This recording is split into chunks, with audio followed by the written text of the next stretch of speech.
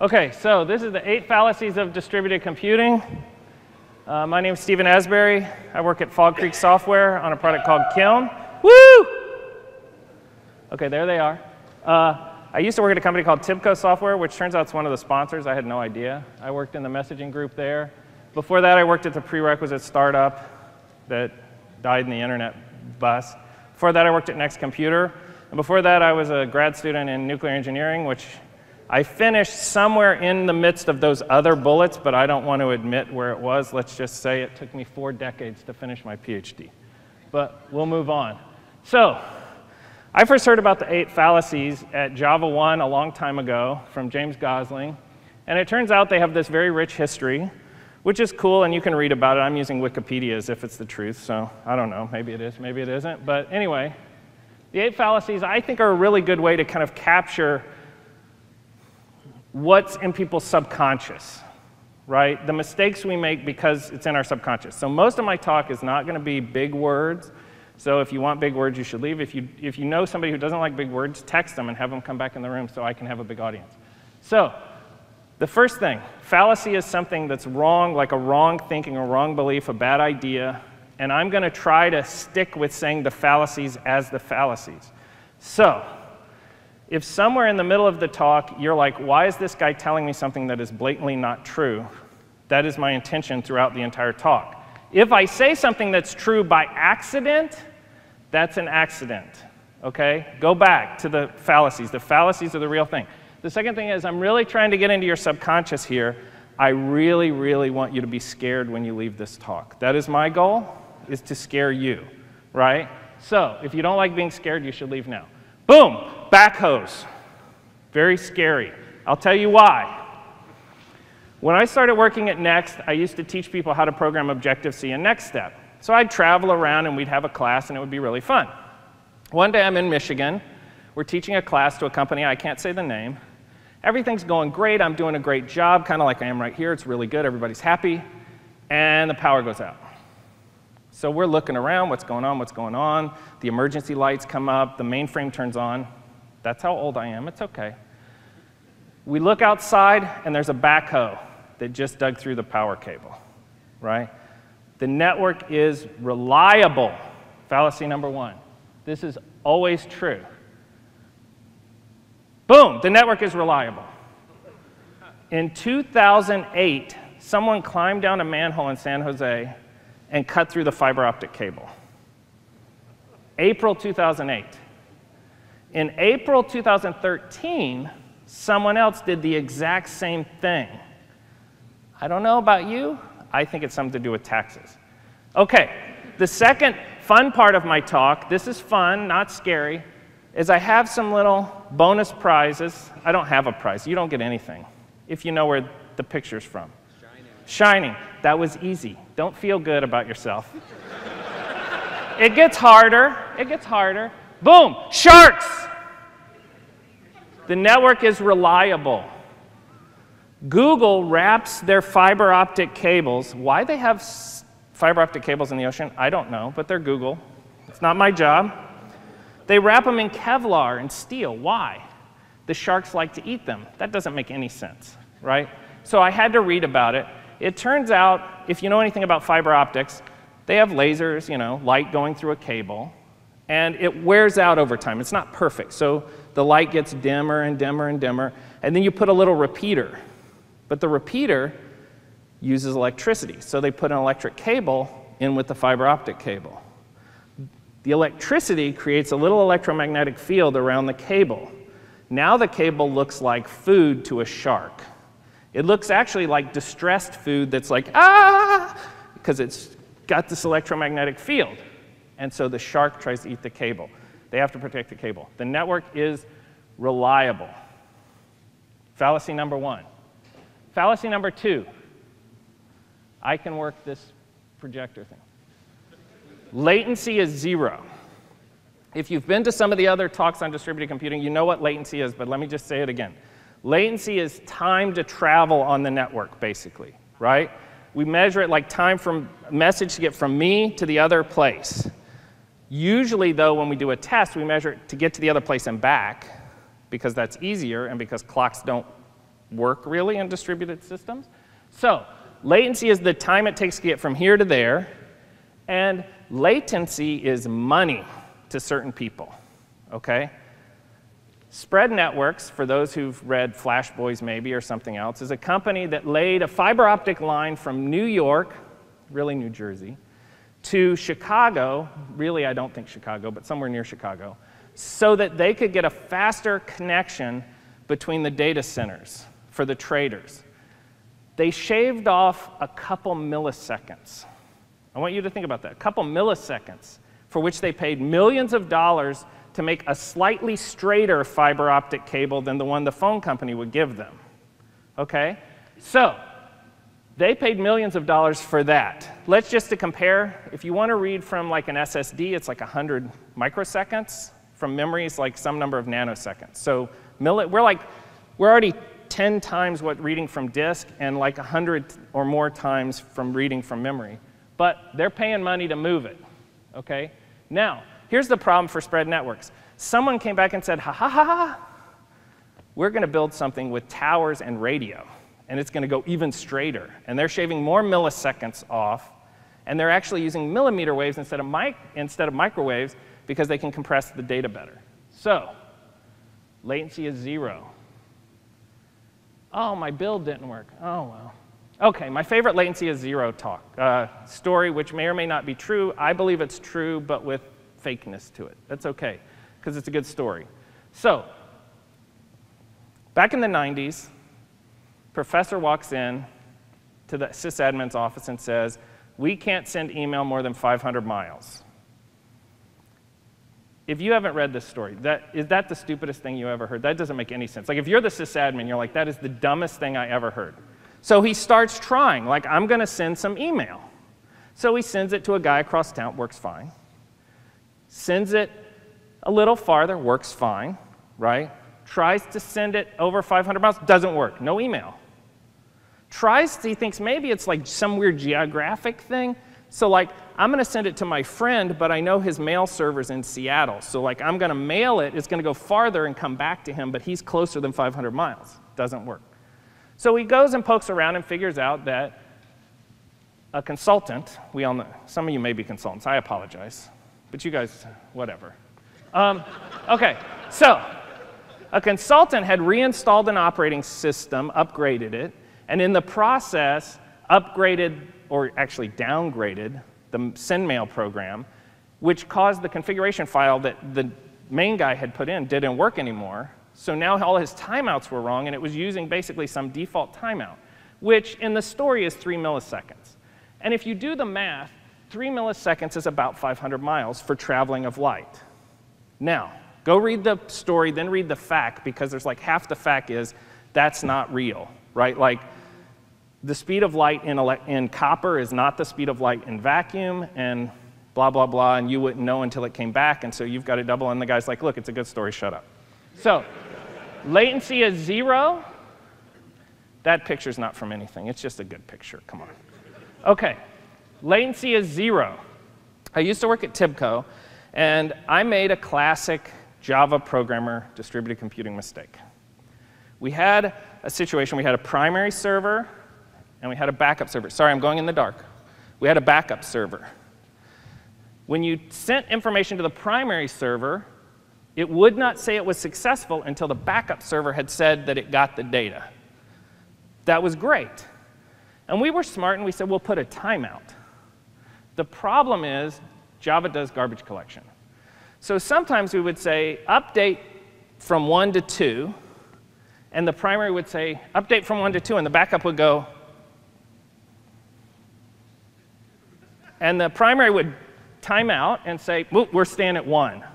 But the backup would go to 2 because, right, that's distributed computing.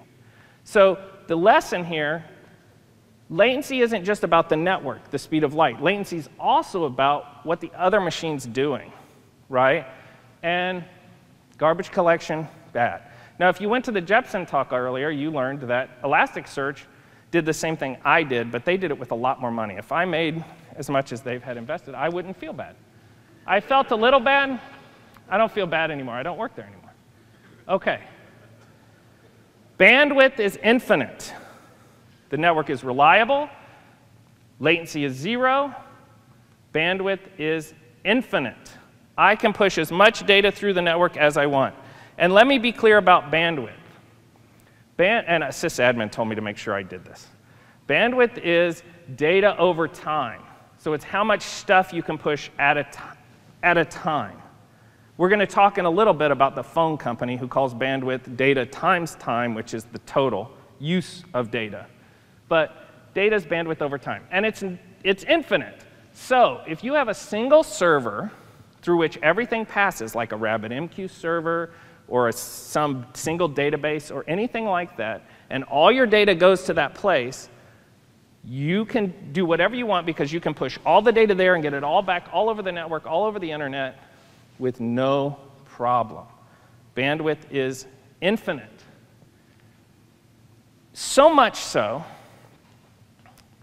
that everything can depend on everything else. Now, I'm starting to lie too much. I don't want to say that.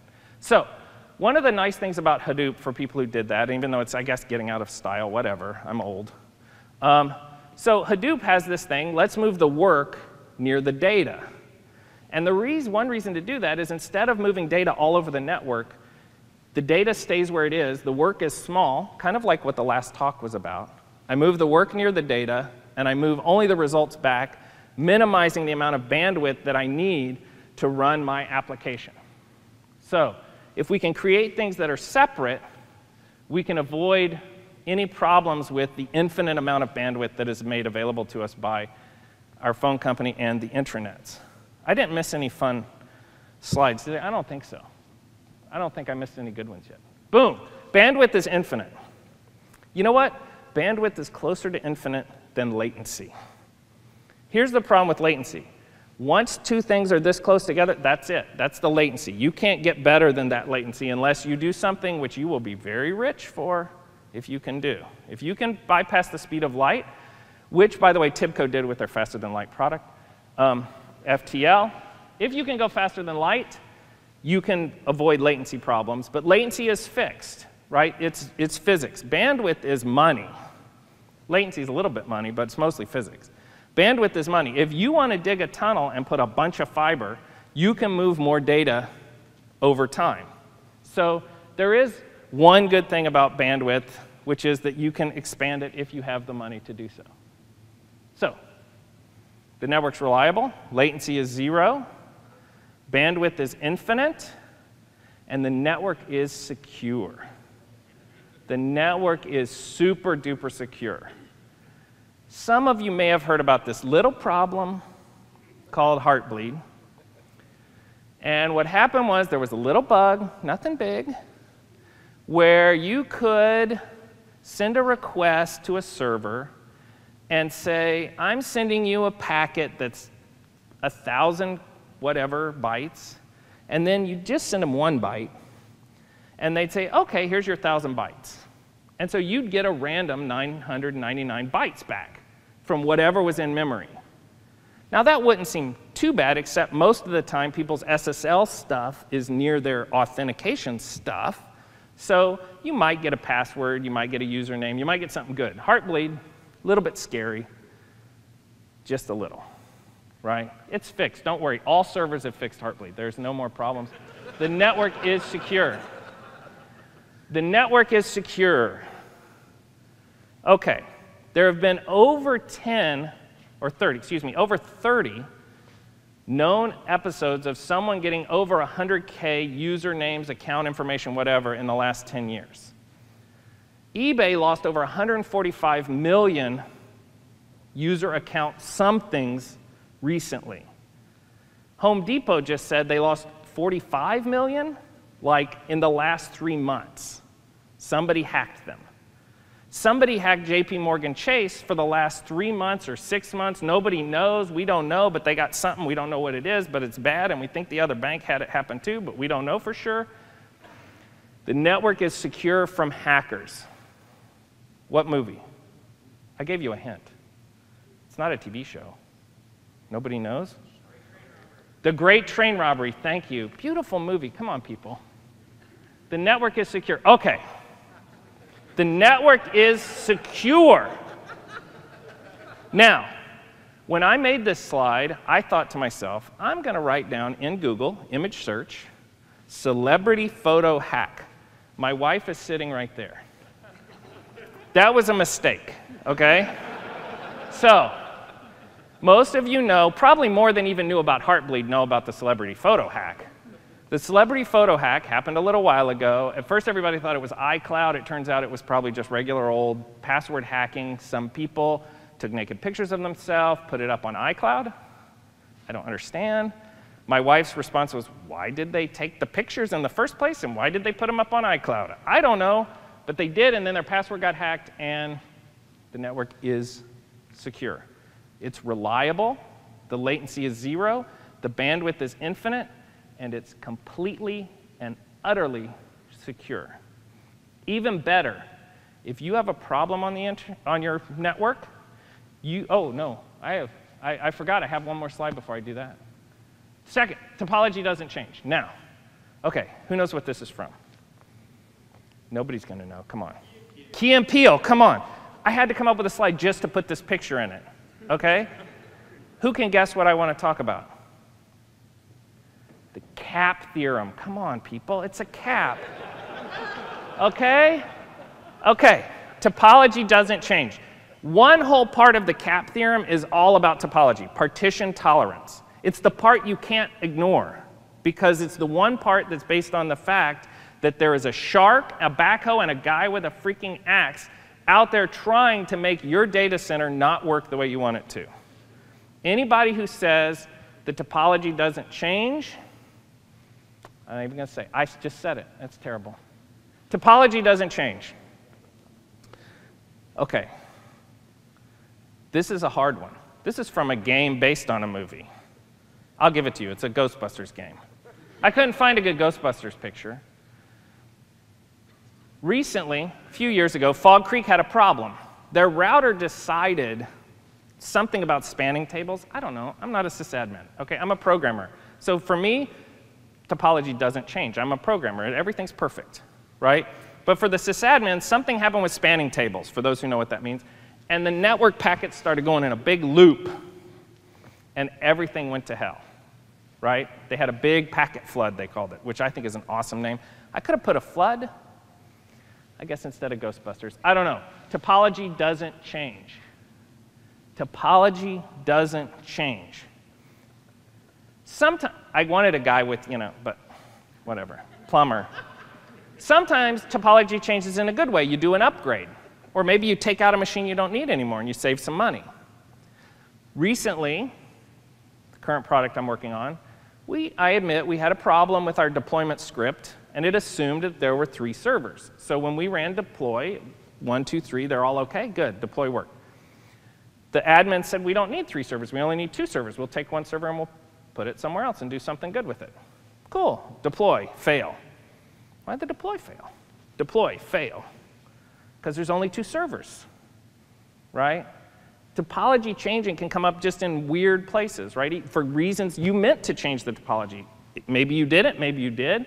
If you went to the, um, see now, Jen, Jensen, Jen, uh, yeah, whatever. You know what I'm talking about. Call me maybe. I love that stuff. Oh, man. If you went to the talk, awesome, terrifying, partitioning, terrible stuff. Topology doesn't change.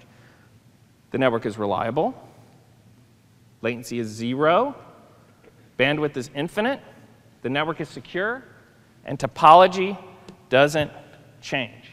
I don't even know how much time I have. Let's see. There is one administrator to take care of you, though. That was when I meant to do my intro before, but I messed up. So there's one administrator, one guy you have to talk to no matter what. Right? Am I right? Maybe you work at a company with one guy, you're the administrator. Not me. I work at a company with a whole bunch of systems. I'm like, okay, I want to do the deployment. Deploy. System one failed. You don't have authentication. Hey, can I get authentication to system one? Cool, thanks. Do, do, do, deploy. Boom, failed. System two. Hey, can I get authentication to system two? Okay, good. You see where this goes, right? So there's authentication across things. Now, if you want, you can work at a company where they have single sign on, which gets you to the picture. One of the single sign-on systems, Kerberos, named after Cerberus, something like that, the guardian to the gates of hell, who was defeated soundly by Harry Potter. Come on, people. Harry Potter and Hermione and the other guy. there is one administrator, and his name is Edward Snowden. Okay, look, no politics. If you have an administrator, they can do bad things, they can do good things. In the case of a company or a government agency, bad is whatever you don't want, right? In the case of the country, maybe it's what you did want. I'm not saying anything about Edward Snowden, good or bad. But he did take a lot of documents from here and put them over here, and the people who owned this machine were very unhappy. right? So, there's one administrator. In fact, he was one of thousands of administrators. I don't even know, man. That's all my money, too, tax dollars. There's one administrator. Boom. Okay, what's the reference? Blazing Saddles. Blazing Saddles, you got it. For those who can't tell, the guy holding the gun on the left is the guy on the left. Like that. Okay? In 2008 in San Francisco, there was a network administrator named Terry Childs. He built this fiber WAN that was awesome, I guess. That's what everybody says, including him. He built this awesome thing, and then they kind of pushed him out. And somebody else took over. There was like kerfuffle. I don't know what happened. I don't know who was in the right or wrong. But Terry Childs walked away with all the passwords to all the routers for the fiber WAN that nobody else knew. So San Francisco could not manage its own network. They put Terry Childs in jail.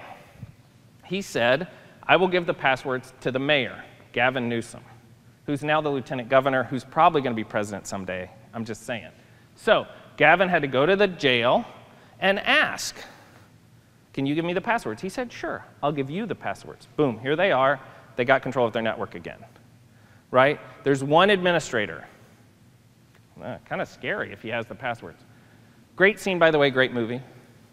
Blazing Saddles. I'm going to give it an ad. Bam. Transport cost is zero. The network is reliable, latency is zero, Bandwidth is infinite, the network is secure, topology doesn't change, there's one administrator, and transport cost is zero. That's why Netflix paid Comcast to improve the performance of their streaming. Not, you know, not to pay for the streaming or anything, just to maybe something, I don't know. And you might think, well, that's nothing. But they also paid Verizon, they paid AT&T, and they paid, I think, other companies as well for the same thing, to get more transport. Transport cost is zero. Boom. Nobody knows what, the, okay. This is a picture from the Tour de France. I wish I had a prize for whoever could name the guy in green. No, come on, please. Contador is about half his size. It's Peter Sagan. Okay, I won't ask you who the other guy is because there's no chance. Okay, here's the thing transport cost is zero. About six or seven years ago, hotel Wi Fi wasn't that great, like it is today. I mean, today it's good, you know? So, I used to travel a lot more, and I went and got myself a little mobile broadband. And I said, well, if I'm going to get a mobile broadband, what I don't want to do is pay for the data. I want to pay a price, and that's it. So I went and looked around, and Sprint said, We'll give you mobile broadband 3G, 5 gig limit, 4G, all you can eat. Sign me up. Got it. Boom. A couple years later, my wife went to Cleveland to visit her parents. The Tour de France was on. For those who don't know, the Tour de France involves, for the fans, three to six hours of watching TV for 22 days in a row in the summer, in July. So you basically can't work during that time because you, if you have a TiVo, you can watch it at night, but it's literally your whole life for that time, let alone for the athletes, you know, whatever. They get paid. I watch this because I love it. So my wife sets up the thing. I said, make sure you're on 4G. So she goes and, you know, it's up here and it's over there and it's 4G and it's great. And we get our bill, $400. I'm like, what the hell? $400? Unlimited 4G. I call Sprint. Oh, we changed that. You didn't tell me change. Oh, we told you. I go through all my bills on the back in little bitty text, no longer unlimited. I canceled that. Okay, transport cost is zero. Just think of Peter Sagan. That's the guy eating your money. transport cost is zero. One way to think about transport cost is latency. You can also think of it as bandwidth, but like I said, you can buy bandwidth, you can't really buy latency too well. So the way you get latency is by something the high frequency traders call bit F word something. I can't say it, and I might get in trouble. So, bit twiddling, that's not what it is. I used to work at Tibco, and I worked on a product called FTL. Like I said, it moves faster than light. It was a brilliant messaging thing. But in order to do FTL, and in order to get latencies under a microsecond, when accessing memory is measured in tens of nanoseconds, you just you can't use locks. You only you know like the time of a message round trip was the equivalent of 20 mutex locks. Like you can't use locks. You can't do it right? You have to just get down in every line of code go can i get rid of that line of code? Can i do it? It's very expensive and very painful. But transport cost is zero. The network is reliable. Latency is zero. Bandwidth is infinite I want to make sure I go in the right order. Network is secure, topology doesn't change, there's one administrator, and transport cost is zero. The network is homogeneous. Who believes the network is homogeneous? This is the easiest one. Come on, nobody believes this anymore. I mean, you're here, you got a phone, and you're trying to do Wi Fi. You know it's not homogeneous. Let me give you my thing. What's the movie? It's Tron, yeah. Tron Legacy. What do I know? Come on. I just looked for a picture that reminded me of those people with fiber optics to their house. If any of you are those people, I don't talk to you. Okay? I pay a cable company a nice monopoly amount of money to get crappy connection to my house. Right? But not everybody has that. Most people today have phones. The network is homogeneous, which is why Facebook paid some ungodly billions of dollars for WhatsApp, which actually runs on phones that aren't smartphones, right? And other things. Because writing an app to run on smartphones isn't as hard as writing an app to run on some weird Nokia thing that somebody in the middle of who knows where is using. Who knows? Saved by the. You know all of them. You're as old as me. You can't answer anymore. You can't answer anymore. Saved by the Bell. Who remembers those phones? Man, I wanted one of those phones. Those were the coolest when they came out. I mean, come on. Okay, the network is homogeneous. Oh, this is the hardest one, too. Westworld. Oh, come on. Sorry. You're right. Okay, fine. So, the network is homogeneous, which is why Google bought a company, Appurify or something? And they also built into the new Chrome network simulators, which Mac also has in their network system, systems preferences panel if you want to play with it. Network simulators so you can try what it's like to run your app on a system that doesn't have the same bandwidth as the network you're actually on. And if you're a web programmer, that's a really great thing to do. If you're a mobile developer, that's a really great thing to do. If you happen to work in a data center where everything is perfect and you have fiber interconnects between all of your machines and multiple private networks with routers and bridges, I don't want to talk to you anymore, and that's fine. But there are simulators. Also a good movie. So, those are the eight fallacies. How'd I do on time? Good. The network is reliable. Latency is zero. Bandwidth is infinite. The network is secure. Topology doesn't change. There's one administrator. Transport cost is zero. And the network is homogeneous. There's also a monitor right there I could look at instead of looking at the screen. Yeah. So those are the eight fallacies. They really capture, right, the problems with distributed computing. I mean, if you went to any of the other talks, something they were talking about is because of one of these. Somebody ignored one of these or intentionally just bypassed one of them or didn't think, or somebody's making a lot of money by fixing these, right? I mean, like you can't fix them, but somebody's out there going, you know, latency isn't zero, so I'm going to be smart and make something that's low latency.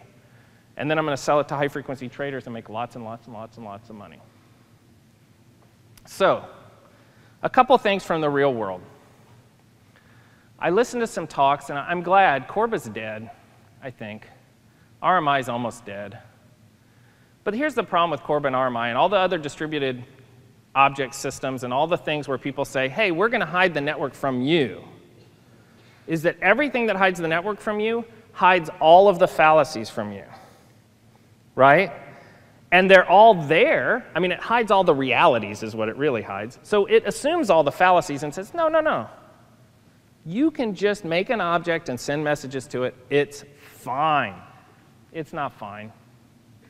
Um, a simple thing. I mean, I just think about this. Like, I used to teach distributed objects on NeXT. It was the coolest thing in the world. I mean, I did a great demo where, like, in three lines of code, you're sending messages between apps. I mean, it was awesome. How did you set the timeout? No, there was no timeout. Okay, WebSockets and polling. So, you know, things like latency and reliability require things like reconnecting and other things. And you got to think about that, right? They also require things like timeouts, which means that if you want to, you can cheat and set timeouts so all your tests pass, and then somebody garbage collects, and then your test, you know, your production fails. So timeouts, a good way to get around a lot of the realities of networking, but not so good. The bottom line is you should trust physics, okay? That's why I went and got a PhD in nuclear engineering, so that I could do computing, right? That's why. Now I understand, like copper, speed of light. Okay, I got it, good. Okay, trust physics, read the docs, and then test if the docs are true. I don't know. Some people don't tell the truth in their docs. And the truth is, unless you're running on real time systems, all of the things about latency are real. They can happen on the other side. If you're on a real time system, then maybe they won't happen on the other side. Maybe they'll only happen in the middle. But I don't work on real time systems, and I'm going to bet that 99% of the people in the room don't work on real time systems. And I mean hard real time systems. I don't mean the ones that, you know, like as software developers, we say we're going to do some real time Java or something like that. So I would highly suggest everybody go back and watch the Jepsen 2 Electric Boogaloo talk, which is a reference to Breakin' 2 Electric Boogaloo, which is also maybe not a great movie. Certainly not as good as the original Breakin'. So, those are the fallacies. Let's be careful out there. Hill Street Blues, thank you. Okay, questions, comments, or just applause?